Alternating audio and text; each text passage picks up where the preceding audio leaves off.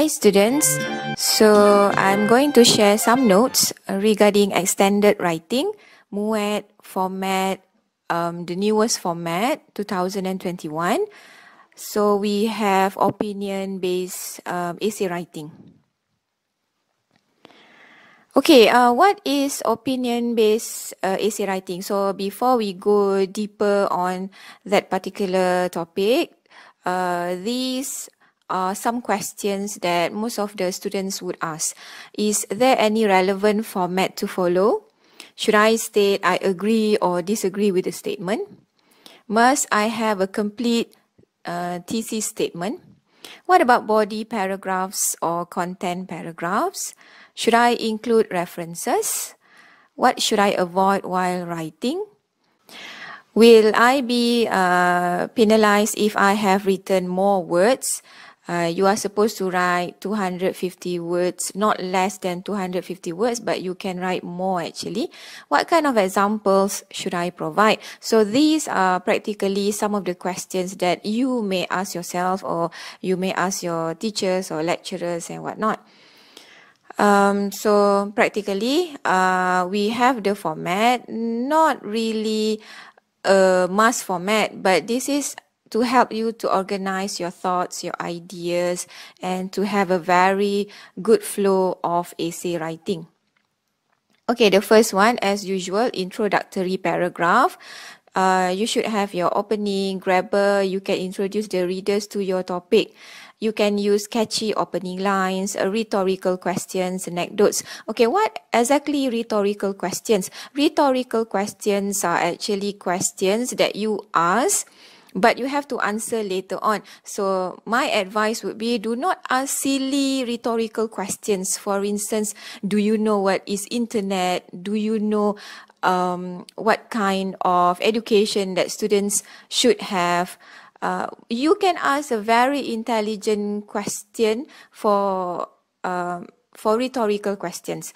Um, for instance, uh, have you ever wondered what happened if an orphan doesn't have um, good education, uh, or it could be, mm, what do you think of uh, Malaysia in 10 years uh, regarding uh, COVID 19? Would it be uh, more unemployment issues, so on and so forth. So rhetorical questions are kind of interesting, but do not ask silly questions because you are downgrading the examiners. Meanwhile, anecdotes uh, mean your own experience, your story in a very short sentences short paragraph. Do not make it as a long essay telling the journey of your life. Anecdotes meaning you can insert uh, in suitable places based on your experience. Apart from anecdotes, uh, you can put simple definitions from your understanding. Try not to um, use can be defined as because you have to give references so on and so forth uh, descriptions uh, regarding the keywords and whatnot uh, and you must have a complete thesis statement a sentence which consists of three big main ideas and remember your thesis statement should be parallel writing for instance I love jogging, walking, and reading. So ing, ing, ing. Uh, or perhaps you can write uh, in order to help um, students to release stress, teachers should. So when the word should, uh, the next particular word uh, is not supposed to have any additional letter at the end of the word. Should help the students, should provide, should um, look after. So meaning it will be singular word. Uh, important notes, uh, you will not be penalized if you write I agree or disagree with the statement given. So this is like opinion based. Uh, if you write, it's okay. If you uh, forgot to write, it's still okay. Meaning it is your op uh, options not to write or to write. Okay, um, try to avoid using research or study. This is uh, basically opinion based and you are writing on that particular moment whereby you have um, one hour perhaps to write this essay. So how can you get um, example from where actually the studies have been taken or have been done and whatnot. Uh, example studies have shown that people who sleep for eight hours. So where did you get the information? Which research paper are you referring to? Do you have the bibliography, the referencing? So if you don't have um, the particulars, so you just omit studies have shown because this is essay writing, not a research paper writing. Uh, what you can do, uh, instead of using studies have shown based on the research, so you can say based on my readings, people who have enough sleep and rest would be, or uh, you can say in my opinion, people need to sleep at least, or you can say if we sleep at least 8 hours, we would. Um, this is uh, regarding your opinion, not based on someone else's um, uh, research or study. You just write based on my readings, based on my understanding, uh, from as far as I know. Okay, next. Um, try to avoid also um, can be defined as. Okay, stress can be defined as blah blah blah. You have to understand that definition can be taken from dictionary uh, where did you get the definition? So if you put stress can be defined as um, you have to state from which dictionary, which page, do you have the bibliography, so on and so forth. So what you can do, you can alter a little bit. Stress can have both uh, positive and negative effects towards us, especially students. So this is like your own sentence structures. Um, in my opinion, stress is a condition which gives or I believe that good stress is needed try to avoid um, particular things that I have mentioned earlier. Okay, next we have um, the format number two, body paragraph or content paragraph. Please write three paragraphs and the organization should be coherent. You have to have topic sentence, state the main idea as written in thesis statement, often written as the first sentence of each paragraph. So topic sentence is actually your main idea. Remember the thesis statement, you have three big main ideas. So each paragraph should have one main idea and the paragraph should be focusing on the main idea stated in the topic sentence. Okay, um, concluding sentence at the end of the paragraph, uh, restate the main idea as written in topic sentence. So uh, after you have uh, completed your paragraph, you have to restate the main idea. And you may use the word hence uh, so on and so forth. Write it as your final sentence for that paragraph because you are moving to the next um, paragraph. Uh, body paragraph also uh, supposed to have supporting details ideas can be in the forms of examples elaborations explanations descriptions etc um, very crucial for you to understand that you are actually supporting your topic sentence. Um, later, I'm going to show you examples of um, elaboration, explanation, so on and so forth. Must support the main idea discussed in this particular body or content. You you should always be focusing on the topic sentence. Uh, use linkers, connectors, transition words, comparison words to create a smooth flow in reading process um, for your information, examiners are going to look at your coherence and the flow. So if your flow is uh, very nicely done, examiners are not going to be hesitated to give you or to award you more marks. Concluding paragraph. Okay, uh, concluding paragraph will be the last paragraph, the final one, to bring to a closure of things that you have discussed earlier. Restate your thesis statement, uh, sentence which consists of three big main ideas refer to your introductory paragraph um, just now and minimum four sentences um, if I were you, I wouldn't write my introductory and my concluding paragraph too long because I would like to be focusing on my three body paragraphs. So minimum four sentences, I mean as a conclusion, blah, blah, blah, one sentence, and then you, you write um, one more sentence, you restate your thesis statement, and then you just um, close your paragraph. You may suggest, give opinions or reaffirm your stand if, if you would like to say, I agree on the statement given. If not, you do not have to reaffirm your stand. Use to conclude to summarize as a conclusion and try not to use in a nutshell because in a nutshell um, there are a lot of students who love nutshell. I think uh, appropriately you should use something else finally, lastly, eventually to encapsulate. So I give you uh, more than enough examples for the concluding paragraph. Hmm. Um, let's try out one simple essay question. Uh, this is very simple question, but you have to give extra um, attention towards the keywords given. Give your opinion regarding the statement below. Online communication distorts physical relationship. Write your essay in not less than 250 words. As you can see, uh, online communication distorts physical relationship we have um, three different part. One is online communication, distort. So in this context, distorts mean negative and physical relationship. So what we can put under online communications umbrella.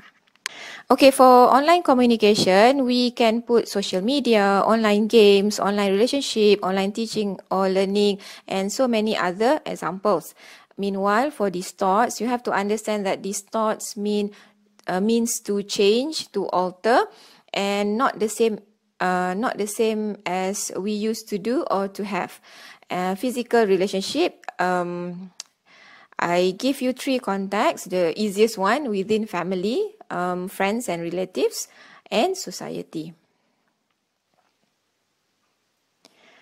Um, when we take a look at the keywords, we have to understand that um, keywords are very important for us to decide uh, what kind of context should we be focusing on. For the first keyword, or the keywords uh, online communication. So I give I give here uh, examples: social media, online games, online relationship, online teaching. Okay, reasons to use um, social media to be updated with latest news or trends. Online games to release stress. Uh, bear in mind, this is example um, you can add on later on to get to know more people to keep up with learning technologies. So these are um, what we call brainstorming idea.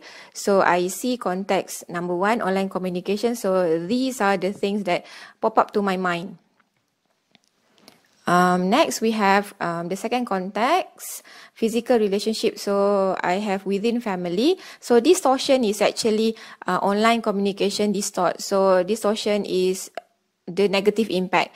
Lack of showing appre- uh, appreciation love respect uh, problems in conveying message face to face could show rudeness while communicating physically. So these are the impacts or the after effect when online communication did something bad to the physical relationship. Physical relationship is actually when you communicate uh, with people face to face, and then if if the mother and the daughter perhaps they have a very good bond, they um they have physical touch and whatnot. So those are physical relationship. Uh, examples uh, why it is happening uh, perhaps uh, we are too busy with gadgets uh, and then it limits our daily conversation. Both children and parents will be affected emotionally. Limited time spent on each other at home. Uh, older generation parents will be lonely. So these are actually example. Okay, the next one, uh, we have friends or relative. Uh, which one you prefer? And lack of time spent together to do good things. So what are the examples? Uh, problems in handling uh, problems face to face. Uh, relationship seems to be distant. Uh, examples, friends are no longer involved in healthy activities. So uh, previously, perhaps you go camping with your friends, you have a dinner together, and why not now?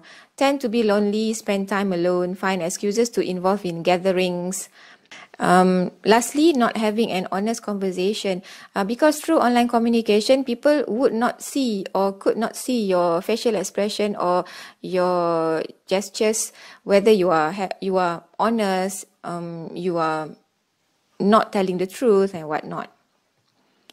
Okay, next, um, society, um, lack of empathy towards other people and could lead to antisocial not really know ways to engage in real conversation with uh, other people in the society, not involved in volunteering activities, which um, should be done by a lot of teenagers nowadays, but they are cooped up uh, at home playing games and whatnot. And then they tend to misjudge the society why they cannot do this, why they cannot uh, do that, so on and so forth. and um, it is believed that they would have um, hard time to work with other people in the future. Difficult to survive in real world uh, is another example. Okay, um, practically what we have here, online communication distorts physical relationship. The underlying meaning for the above question is by having online communication, our physical relationship with others will not be the same again.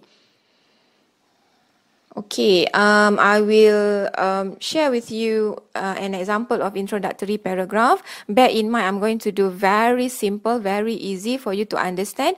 It's just like um, for me to highlight what should be, uh, what you should have in the introductory paragraph itself. We might not really notice it, but I do believe that most of us prefer using online platform to communicate with family members and friends or even co-workers at the office. With uh, various applications to choose from, we somehow use them to convey our messages, feelings and emotions or simple notes with different um, ideograms and smileys known as emoji or emoticons towards people that we know. However, in my opinion, I believe that online communication distorts uh, physical relationships among family members, friends, and society members.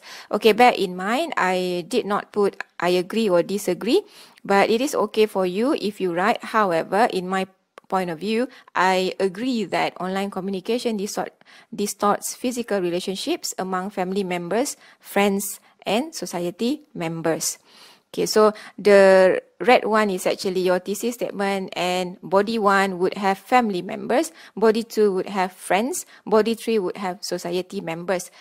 Why thesis statement is very crucial Okay, thesis statement is actually uh, one of the way telling the examiners, okay, examiners, I'm doing three body paragraphs. So my first body is family members, my second body is friends, my third body is society members. If you just write in this essay, in this essay, I will explain the reason why, and then you full stop. The examiners will find um, would have a difficult time to decide what is actually um, you are talking about in the particular paragraph. And then when you are giving hard time to the examiner, um, your mark somehow would be jeopardized. So be smart. Uh, straight away you tell, okay, I have three bodies. I have three content paragraphs. So uh, these are my point of view. Okay, content paragraph uh, body one. So I'm going to give only one content paragraph. Uh, and then um, you have to go through later on to see the connection and whatnot. One of the predominant features in building a good relationship among family members is physical touch or physical relationship. The bond between family members will become stronger if they help each other through thick and thin to make sure they live in a harmonious surrounding. So I'm putting here family members. So this particular paragraph is all about family members and how physical touch or physical relationship is crucial in the uh, relationship itself. However, most parents are busy to make ends meet and they tend to neglect their children's need to be touched, hugged, or even patted on their shoulder if they have done something good to be praised about. Okay, take note here, I am focusing on parents and children.